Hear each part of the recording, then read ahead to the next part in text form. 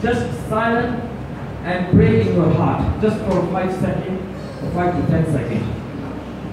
Pray in your heart, whatever, whatever the Holy Spirit is telling you to pray, pray in your heart.